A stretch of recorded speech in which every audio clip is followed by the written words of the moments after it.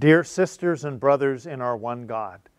I join with others across our diocese and our country who are rejoicing in the news that Pope Francis has accepted the invitation of the Catholic bishops of Canada to visit our country on a pilgrimage of healing and reconciliation.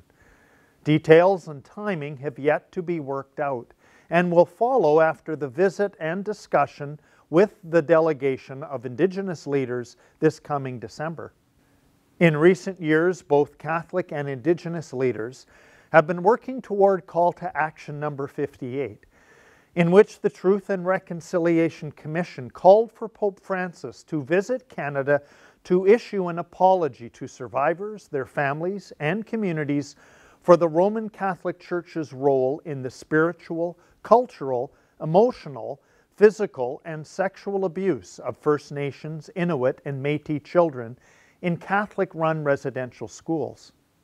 It is my hope, and I believe the hope of many Indigenous leaders, elders, and other non Indigenous Canadians,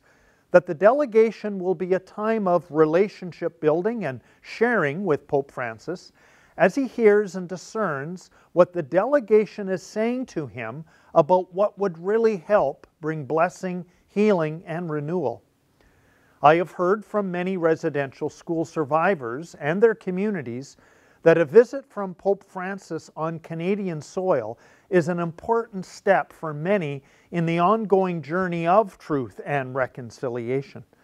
I am grateful for both the invitation and its acceptance, and I trust that the pastoral presence of the Holy Father will bring support and healing, as well as renewed awareness and zeal for the ongoing journey of truth and reconciliation.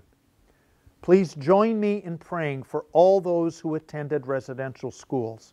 for those who continue to suffer because of the legacy of the schools,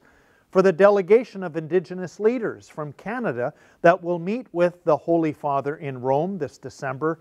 and for Pope Francis and his planned journey to our land. And let us join in prayer together to our one Creator and Lord of all, in the name of the Father, and of the Son, and of the Holy Spirit. Amen.